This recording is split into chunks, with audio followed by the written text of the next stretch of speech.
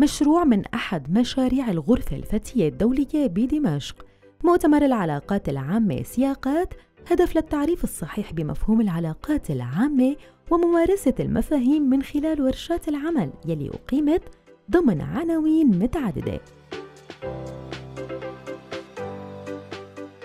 هذا المشروع آه، آه، بيضوي على مفهوم العلاقات العامة آه، وكمان بيضوي على أهميتها بسوق العمل وكيفية تطبيقها على أرض الواقع. المشروع هذا بدأ بمرحلة أولى كان عن طريق ورشات عمل. كانوا تقريبا بحدود سبع ورشات.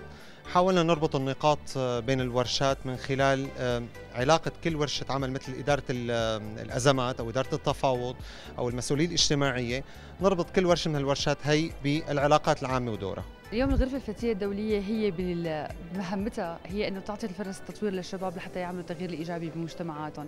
ومن هذه الاستراتيجية العامة أو الرؤية العامة انطلقت اليوم من خلال أربع نطاقات.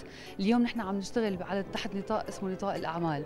الأعمال اليوم الحرة هي كثير مجال تركيز لبلد خارج من أزمة اللي كنا نحن مارين فيها بعشر سنين. واليوم شباب الفريلانسنج هن لازم نحن نركز عليهم لحتى نعطيهم القوة الاقتصادية. الفعالية ممتازة وبتشكر عليها الغرفة الفتية الدولية حقيقة. شغلة كثير حلوة.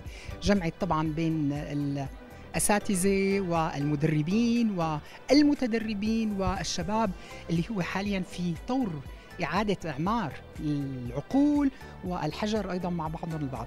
فبالتالي اللقاء أنا من رأيي يتكرر دوريا. كثير حلو أنه نجتمع مع الطاقات الحلوة مع الشباب الظراف مع الأساتذة زملائنا. كثير كثير حلو هذا. ملتقى حواري جميل جدا.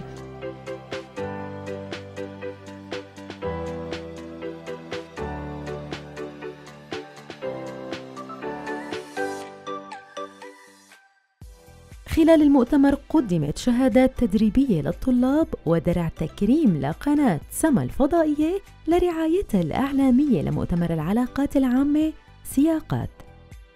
تكريم الراعي الإعلامي لمؤتمر كونتكس قناة سما الفضائية.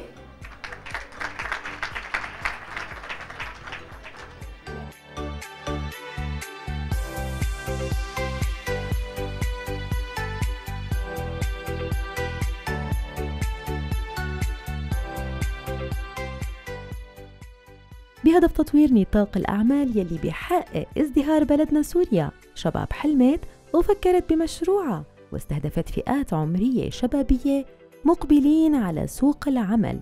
قدمت لهم الخطوات والطرق الصحيحة ليكونوا دايما بالطريق الأفضل.